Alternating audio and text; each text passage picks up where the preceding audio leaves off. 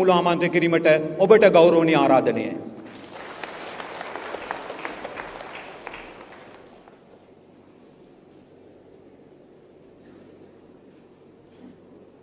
ජාතික ජනබලවේගේ නායක පාර්ලිමේන්තු මන්ත්‍රී අනුර කුමාර දිසානායක මැතිතුමනි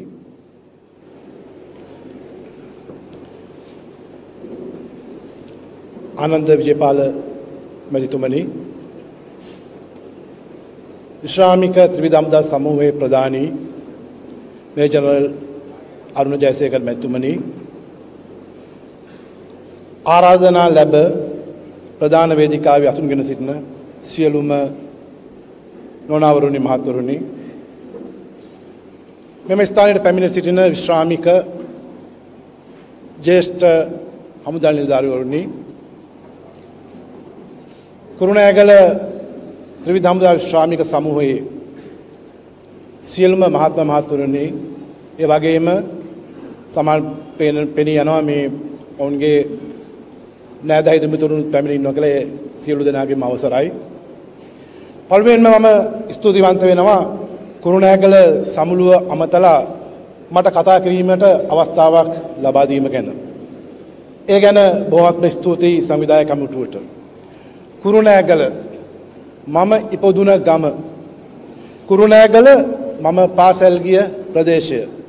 ඉදිරි ග්‍රවුන්් එක අපි සෙල්ලං කරපු ග්‍රවුන්් එක මේ ස්ථානයට අපි අවස්ථා කීපයක ඇවිල්ලා තියෙනවා.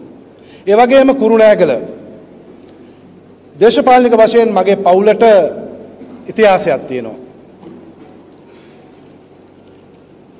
එදා නමසිය හතලිස් නමේ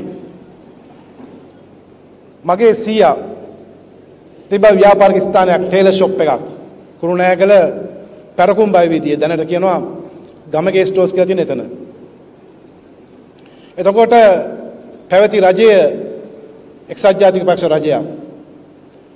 මගේ සීයා වාමාංශික දේශපාලනය කරපු කෙනෙක්. ඒ කාලේ පැවැත්වෙන්වට නිමිතව තිබුණා කොමිනිස්ට් රැස්වීමක්. ඒ රැස්වීමට කොඩිය මැහුවේ අපේ ටේල් ෂොප් එක සීයාගේ. සීයාට ලැබුණ දඬුවම තමයි මරණය. එවකට එක්සත් ජාතික පක්ෂ පාක්ෂිකයෝ ප්‍රබල පාක්ෂිකයෝ කරුණාකල හිටපු හින්නි අප්පු කියලා රස්තියාදුකාරයෙකුට බොණ්ඩ දීලා එවල මගේ සීයාව ඝාතනය කළා. ඒකේ ප්‍රතිඵලය තමයි මගේ තාත්තා එතකොට වයසෙන් අඩු කෙනෙක් අපේ ව්‍යාපාරය සම්පූර්ණයෙන්ම කඩා හැලුණා. එදා ඒ තිබ්බනම් අපිට ඒ සෙනවිරත්න ටේලර්ස් කියන එක අද වෙනකොට අපිට ගේන්න තිබ්බ නමුත් අපිට ඒ ඒ මර මැර දේශපාලන නිසා අපේ පවුලට එවැනි හානියක් වුණා. මෙන්න මේ පසුබිම තියාගෙන මම කැමති ඔයගොල්ලන්ට කතා කරලා කියන්න විශ්‍රාමික නාවික හමුදා නිලධාරියෙක් විදියට ඇයි මම ජාතික ජනබලවේගයට සහයෝගය දීමට පෙළඹුණේ කියලා. ප්‍රිය සහෝදර සහෝදරනි මම නාවික හමුදාවට 1985 බැඳිලා අවුරුදු 34ක සේවා කාලයකට පසුව 2020 අවුරුද්දේදී විශ්‍රාම යනවා. මම විශ්‍රාම යන්නේ රියාද් මිරල් කෙනෙක් විදියට මම විශ්‍රාම යන විට ශ්‍රී ලංකා නාවික හමුදාවේ මූලස්ථානයේ පාබල අංශය සහ අලුතින් නිර්මාණය කළ මැරීන් බලකායේ ආඥාපති වශයෙන් සේවය කරමින් හිටියේ. මගේ සේවා කාලය තුළ මට කිසිම දේශපාලන මතවාදයක් තිබුණ කෙනෙක් නෙමෙයි. අපිට හමුදා නිලධාරියෙක් හැසිරිය යුතු ආකාරයේ තමයි පවත්නා රජයට පක්ෂපාතීව රාජකාරී කිරීම මා එසේ රාජකාරී කළා. නමුත් අපි නොදැක්ක නෙමෙයි නොගැලපෙන දේවල් නොකළ යුතු දේවල්. ඒ දකින කරන වෙලාවල වල අපිට ඒවට එහෙම විරුද්ධ වෙන්න බෑ ඒක ඔබතුමාලා දන්නවා අපි හුඟක් වෙලාවට ඒ වගේ දේවගෙන් ඈත් වෙලා හිටියා. මෙහෙම රාජකාරී කරලා මම 2020 පෙන්ෂන් යනකොට මම හිතුවා මම වෙන රැකියාවක් කරන්නේ නැහැ. මොකද මගේ නෝනා ගොඩක් දුක් විඳා මගේ සේවා කාලේ මම වැඩි කාලයක් පිට හිටියේ. ඊළඟට මගේ දරුවෝ දෙන්න පොඩි මේසරේ කෙනෙක් ඕ ලෙවල් කරනවා. ඒ නිසා මට අවශ්‍ය වුණා මගේ නෝනට උදව් උපදව් කරමින් මගේ දරුවෝ දෙන්නට අධ්‍යාපන කටයුතු වලට උදව් කරමින් ගෙදර ඉන්න. අහිංසක බලාපොරොත්තුවක් ඔයාලට වගේම මටත් තිබ්බා. අවුරුද්දක් විතර හිටියා. මොකද වුණේ අවුරුද්දක් යනකොට මගේ දරුවන්ට අධ්‍යාපන කටයුතු ටික කරගෙන යන්න විදියක් නැහැ. මගේ දරුවන්ව හරියට පෝෂණය කරන්න විදියක් නැහැ. ඒගොල්ලන්ට අඳින්න කරන්න දෙන්න විදියක් නැහැ. මගේ දෙමව්පියන්ට සලකන්න විදියක් නැහැ. යාළුවෙක් මිත්‍රයෙක් උපකාරයක් කළොත් කරන්න විදියක් නැහැ. ඒ මම සැලකිය යුතු විශ්‍රාම වැටුපක් ලබන කෙනෙක් විදියට. පොඩි පොඩි ආදායමුත් තිබ්බ කෙනෙක් විදියට. හිතාගන්න අඩු ආදායම් ලබන මිනිහෙක් කොහොමද ජීවිතේ? හිතන්න පොඩ්ඩක්. මම රත්මලානේ ඉන්නේ. මගේ ගේට්ටුවේ දවසට 25 30ක් මිනිස්සු වෙල්ලිලා මොනවද කියන්නේ? කන්න ඉල්ලනවා. ඇඳුම් ඉල්ලනවා. පොත්පත් ඉල්ලනවා. ජීවත් වෙන්න. තව පැත්තකින් දන්නවන ඒ වගේ පොඩි ඉඩ කඩක් තියෙන්නේ හදන කරන ගස් එළියට බර වෙලා තියෙන්නේ. අඹ ගහේ ගෙඩි ටික කඩයි යනවා. ගස් ලැබු ගෙඩිය කඩනවා. එළියට පාත් වෙලා තියෙන මුරුංග අත්ත කඩනවා. ගිහිල්ලා කෑලි කපලා තියලා සොයිසපුර ළඟ විකුණනවා. මේවා හොරකන්ද? මේවා හොරකන් නෙමෙයි. මේ සමාජයේ ඇත්තද? ජීවත් වෙන්න කරන උත්සාහයන් මිනිස්සු. තව එකක්. මම පොඩි ගොවිතැන් කටයුත්තක් කරන එක නාරම්මල තියෙන්නේ මම රත්මලානේ ඉඳන් සාමාන්‍ය මම කෝච්චිය ඇවිල්ලා බස් දෙකක විතර තමයි නාරම්මලට යන්නේ. මේ දැකපු දෙයක් මං කියන්නේ. අමුතුම හිඟන සංස්කෘතියක් මේ දූෂිත පාලකයෝ මේ රටේ බිහි කරලා. එක් බස් එක කෝච් උදේ පාන්දර මම නගින්නේ 6ට විතර ඒ වෙලාවෙ ඉඳන් මේ වැඩේ පටන් ගන්නවා. මෙන්න මේ වගේ අය. හොඳට ඇඳගත්තු කොල්ලෝ නැත්තම් මැදුවිය පුද්ගලයෝ සින්දු කියනවා කෝච්චියේ. සින්දු කියලා ඒත් හිඟමන් තමයි අය දින්නේ. ඊළඟට සාමාන්‍ය පුද්ගලයෝ කියනවා මම රැකියාවක් කරනවා මට වැටුපල් ලැබෙනවා. නමුත් මගේ වයිෆ් එහෙම නැත්නම් මගේ දරුවා නැත්නම් කවුරු හරි පවුලේ සමාජිකයෙක් අසනීපයි. බෙහෙත් ඒත් ගන්න විදියක් නැහැ. මට උදව් උපකාර කරන්න. ඊළඟට පවුල් පිටින් නෝනා දරුවෝ අරගෙන පුත මේ මහත්තයත් අරගෙන ඇවිල්ලා අපහසුයක් කියලා මුදල් අය දෙනවා. ඊළඟට පොඩි ළමයි එක්ක හඳුන් කූරු විකුණනවා එක්ක කපුරු බෝල විකුණනවා නැත්නම් නිකන් මුදල් අය දෙනවා. පාසල් යන්න විදියක් නැහැ කියලා. තව අය හිඟා කන්න දන්නේ නැහැ ඉල්ලන්න දන්නේ නැහැ. නමුත් ළඟට ඇවිල්ලා කියා ගන්න කියලා එකපාරට අඬා ඇලෙනවා. ඇඬෙනවා. ඒ තියෙන ප්‍රශ්නේ ගෙදර හිඟා කන්න නෙමෙයි ඉඳලා තියෙන කරන්න දෙයක් නැතිකමන තමයි මේ ඉල්ලන්නේ. ඒ කී හරි ඉල්ලන්නේ කාව හරි ජීවත් කරන්න යන්න. ඔන්න ඕකයි අද සමාජයේ තත්ත්වේ. මේ සමාජයේ හිඟමනෙන් හිඟමනට අද දාලා. මෙන්න මෙතනයි මගේ දේශපාලන අධ්‍යයනය පටන් ගත්තේ. මට දේශපාලන මතවාදයක් තිබ්බ කෙනෙක් නෙමෙයි. මම කල්පනා කරලා බැලුවා. මම හිතලා බැලුවා. මොකද්ද උනේ කියලා. හොරකම වංචාව. මහජනතාව මුලා කිරීම. මහජන දේපොල අවභාවිතා කිරීම තම එකම දේශපාලන සංස්කෘතිය කරගත්තු. මේ පාලකයෝ තමයි මේ තත්ත්වයට මේ රට පත් කළේ. ඒගොල්ලන්ට හොරකම් මැරකම් ජඩකම් කරන්න මේ රටේ නීතිය ප්‍රශ්නයක් නෙමෙයි. නීතිය ව්‍යවස්ථාව ඒගොල්ලන්ට නිකන් කොලයක් විතරයි. ඒක ඔයාලට අපිට තමයි ප්‍රශ්නයක්. පොලිසියෙන් ඇවිල්ලා අපිව තමයි අදගෙන යන්නේ. අපිවට තමයි දඬුවම් කරන්නේ. ඒගොල්ලන්ට ඒක කොල කෑල්ලක් විතරයි. කියන්න කොයි ඇමතිවරයද මන්ත්‍රීවද හොරකමක් කරලා දඬුවම් ඉද්දේ? මේ අධ්‍යයනය තුළ මට තේරිච්ච දේ තමයි මේ පවත්නා අදූෂිත දූෂිත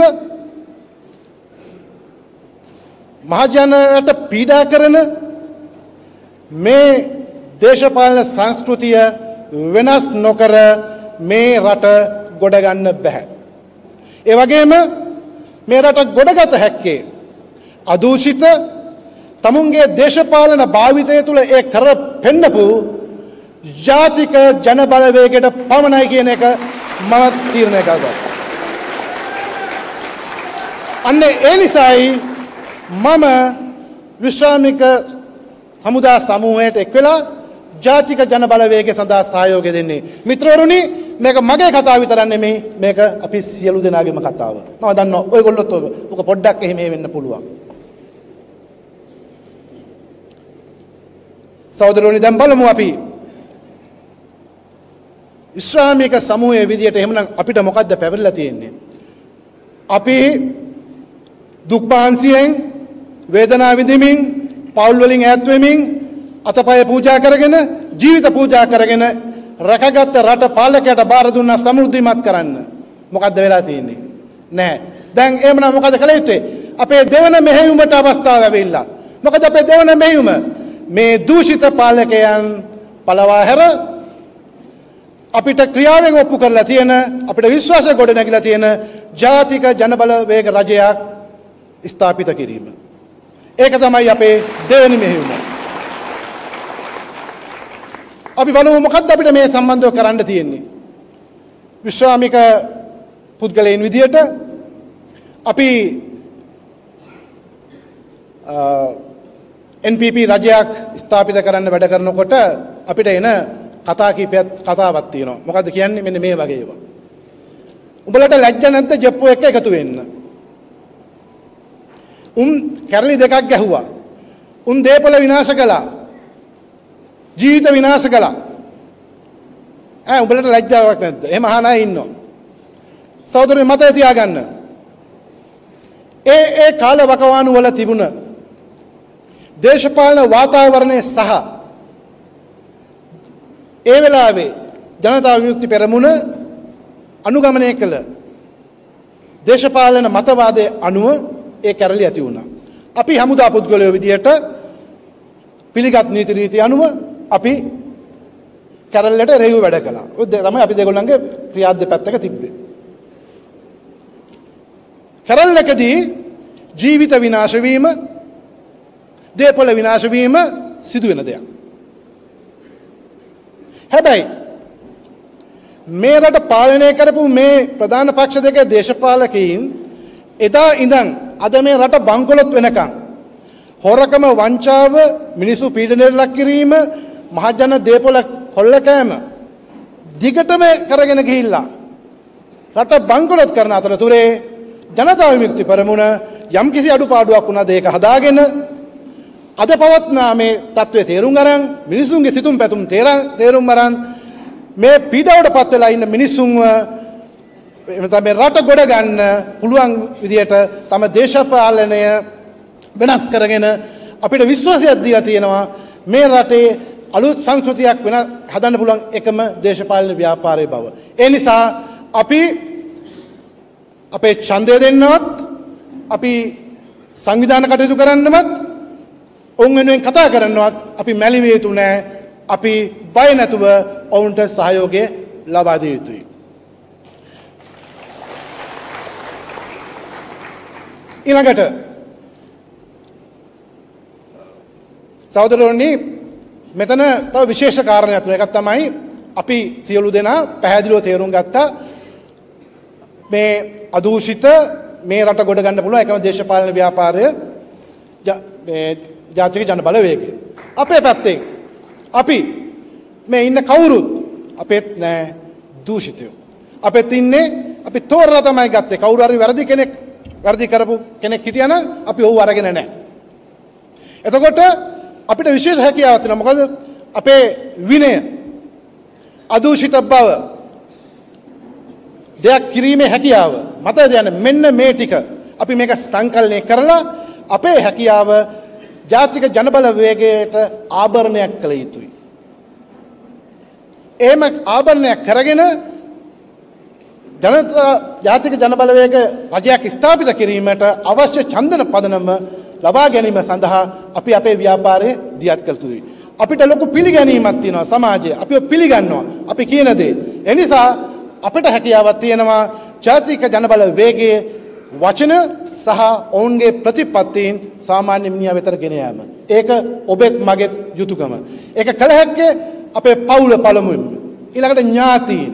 ඔබ රැකියාව කරන ස්ථානය ඔබ මොකක් හරි සංගමයක ඉන්නවනම් සමාජයක ඉන්නවනම් සමාජ කටයුත්තක ඉන්නවනම් මේක මේ හොරබරුවනේ අපි සත්‍ය සත්‍ය විදියට කියලා ඒ මිනිස්සුන්ට සත්‍යය අවබෝධ කළ දිය යුතුයි. අපේ රටේ තියෙන දේ තමයි කන්න දෙනවා නම් බොන්න තියෙනවා නම් අපි. මෙන්න මේ මෙන්න මේ මනස තියෙන එක අපි වෙනස් කරන්න ඕන මිනිස්සුන්ගේ. ඒක සමහරලාවට අනි ප්‍රශ්න ති- තියෙන පුළුවන් නමුත් අපිට අපි ජීවත් වෙන සමාජ තලය තුළ ඒ වෙනස කරන්න පුළුවන් කියලා මං විශ්වාස කරනවා. ඊළඟට සහෝදරවනි අපි මේ වැඩේ කරගෙන යනකොට හිතන්න එපා අපිට මේ වැඩේ කරගෙන යන්න මේ ඔක්කොම ඉඩ කඩ දීලා තියෙන්නේ කියලා. දවලට පේනවා ඇති අද කවදාවත් මේ අවුරුදු මම දන්න කාලේ ඉස්කෝලේ යන කාලේ ඉඳන් තිබ්බ ගහ අද තමයි කපන්න අරන් තියෙන්නේ මෙන්න මෙතන. දකින්න ඇතිනේ පාර බ්ලොක් කොඩි දාපු පාරේ එන්න විදියක් නැහැ. ඉතින් ඔන්න ඔය හැටි මේ රටේ දේශපාලනේ හැටි. රයිට්. එතකොට දැන් අපේ මේ ත්‍රිවිධාපිනිදා සමූහික පටන් අරගෙන අපි දැන් ප්‍රධාන සමුළුවක් තියලා ඊළඟට දිස්ත්‍රික් සමුළු තියලා ආසන සමුළු තියලා යනවා. මේක ඇහැට කටු අනිනවා වගේ පාලකයින්ට. ඒ පාලකයින්ට රට දියුණු කරන්න බැරි වුණාට ගේම් ගහන්න කඩාබිඳ දැමීමට බොහොම දක්ෂයි. ඒගොල්ලන්ට කොච්චර වැඩ තිබ්බත් ඒවට වෙනවා. ඒ වගේම තමයි ගහට පොත්ත වගේ ඒවට බැඳිච්ච අපේ නිලධාරීත් ඉන්නවා දෙන්නන්ස වැඩේ කියලා ඉන්නේ අයත් නැත්තෙම නැහැ. අපි දන්නවා. අපේ යාළුවෝ සමහර අය. ඉතින් ඒගොල්ලෝ මේකට ක්‍රම යො- යොදනවා. මම නිකන් මට දැනුණ මෙන්න මේ විදිහට. එකක් තමයි ඒගොල්ලෝ කෙලින්ම ගහනවා පහර. ඒක උදාහරණයක් තමයි අපේ අ, ක්‍රියාකාරී සමාජිකයෙක් වන AVM තුයකොන්ත මහතාව බ්ලැක් ලිස්ට් කිරීම. ඒක කරලා බැලුවේ අපිට පොඩි පාරක් ගහලා පෙන්වන්න උඹලා එන්න එපා. આવොත් එහෙම උඹලාට මෙහෙමයි වෙන්නේ කියලා. නමුත් ඒක අනිත් පැත්තට පත්තු කරගත්තා. ඒ සම්බන්ධව අපි අධිකරණ ක්‍රියාමාර්ග අරන් තියෙනවා. අපි ස්තුතිවන්ත වෙනවා දේශපාලන නායකත්වයට. අපි අපිව මග මේ මේ වැටෙන්න දුන්නේ නැහැ. දීලා ඒකට අවශ්‍ය කටයුතු කරගෙන යනවා. දෙවැනි එක තමයි වක්‍රව. මම කලින් කිව්වා වගේ අර දූෂිත අපිත් එක වැඩ කරපු නිලධාරීන් ඉන්නවා. ඒ අය නොඑක් නොඑක් කණ්ඩායම් වලට කතා කරලා කියනවා උඹලා ඔය ජාතිය දේශපාලනයට යන්න එපා. උඹලා ඔය ජාතිය දේශපාලනයට ගියොත් උඹලාට පෙන්ෂන් එකක් නැති වෙයි. උඹලාට හොල්ඩේ බංගලයකට යන්න බැරි වෙයි. උඹලාට තියෙන වරප්‍රසාද නැති කරනවා. එහෙම කරන්න බෑ. නමුත් අර දූෂිත නිලධාරීන් එවැනි පණිවිඩයක් අපේ මිනිස්සුන්ට දෙනවා. අපි අතරත් ඉන්නවා හිත දුර්වල අය. ඒ හිත දුර්වල අය සමහරට මේවට බය වෙන්න පුළුවන්. ඊළඟ විදිය තමයි මේ උපදෙස් විදියෙන් එන්නේ. මේ උපදෙස් විදියට එන්නේ සමහරලාට ඔයාට නෙමෙයි කෙලින්ම. සමහරට ඔයාගේ නෝනට දරුවන්ට මොනවද කියන්නේ? තාත්තා දැන් මේ වගේ වැඩක් පටන් ගන්න නේද තියෙන්නේ? ඕවා හරියන වැඩද? ඈ ඕක කළොත් එහෙම තාත්තට පෙන්ෂන් එක නැති වෙනව නේද? ඔයා ඉගෙන ගන්නෙ කොහමද? ඈ නෝනා ඔයා කොහමද මහත්තයාගේ පෙන්ෂන් එක නැති වුණොත් ජීවත් වෙන්නේ? ඈ දන්නව නේද දේශපාලනේ හැටි? ගෙදරට ගල් ගහයි නේද?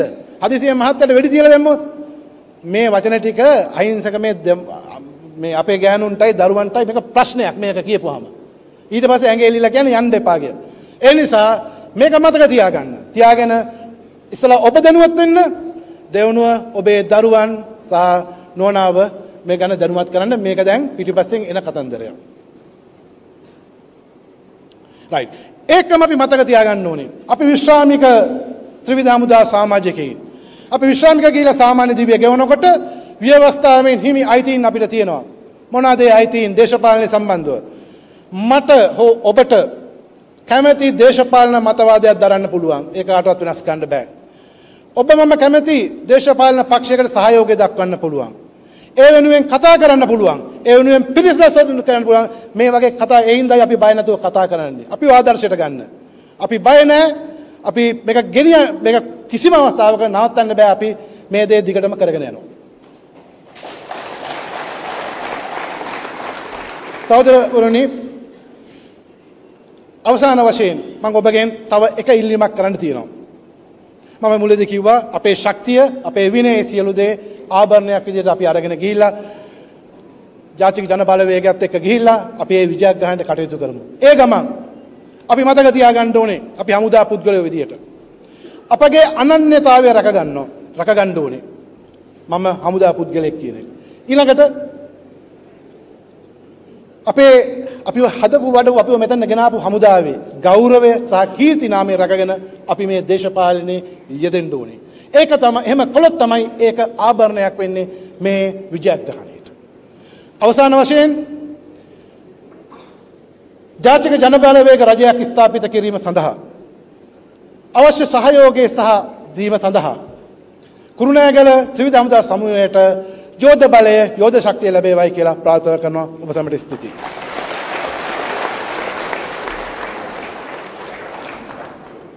ජාතික ජනබලවේගේ